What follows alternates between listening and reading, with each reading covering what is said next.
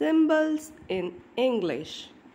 Colon, semicolon, full stop, comma, slash, hyphen, question mark, quotation mark, ellipsis, square brackets, curly brackets, apostrophe, percent,